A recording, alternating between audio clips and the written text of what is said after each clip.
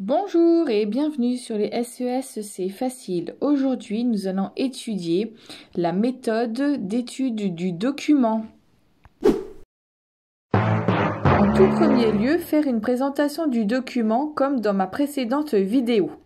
Même si ce n'est pas demandé, c'est bien de le faire. Il y a en général deux questions, l'une s'appuyant exclusivement sur le document et l'autre faisant intervenir le cours. Cela veut dire que l'on utilisera le cours pour apporter les idées et on s'appuiera sur le document pour citer les exemples. Il faut toujours répondre en utilisant la méthode AEI argumentation, explication, illustration. Donc exemple. Pour la question sur les données du document, vous essaierez de toujours partir de la big picture, c'est-à-dire les grandes lignes, pour ensuite parler dans les détails.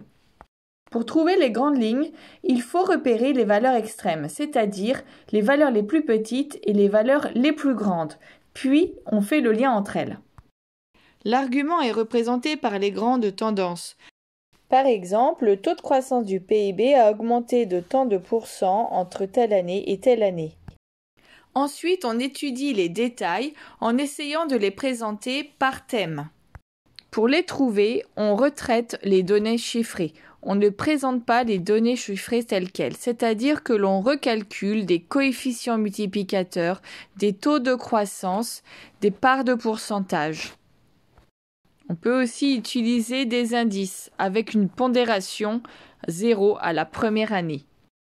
J'étudierai ces outils dans une prochaine vidéo.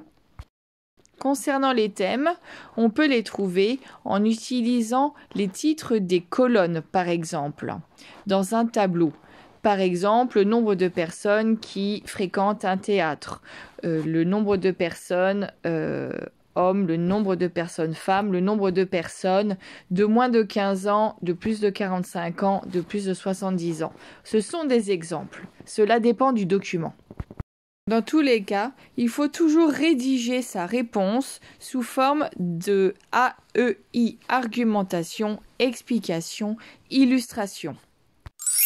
Pour la question s'appuyant sur le cours, il faut rédiger sa réponse grâce au cours en ciblant bien sa réponse. Il ne faut pas faire de hors-sujet. Et on utilise les données du document pour les illustrations.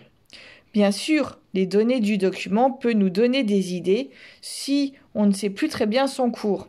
Mais il ne faut surtout pas se restreindre à ce document. On peut ouvrir la réponse euh, grâce au cours. Même dans cette question, il faut utiliser le plan en AEI. Argument, explication, illustration. Les illustrations sont tirées du document qu'on vous propose. Après avoir répondu à ces deux types de questions, il ne faut pas oublier de euh, résumer ce qu'on vient de dire par une petite phrase en guise de petite conclusion. Autant pour la première question de cette C2 que la deuxième question de cette C2. En fait, on résume les arguments qu'on a avancés dans notre argumentation. Et voilà, c'est terminé pour aujourd'hui. Nous avons vu ensemble comment répondre aux questions d'une EC2 dans une épreuve composée. Je vous remercie pour votre attention. N'hésitez pas à la revoir, à liker, à vous abonner à ma chaîne et je vais, je vous promets, euh, ne pas trop tarder pour vous refaire une autre vidéo. Au revoir, bon courage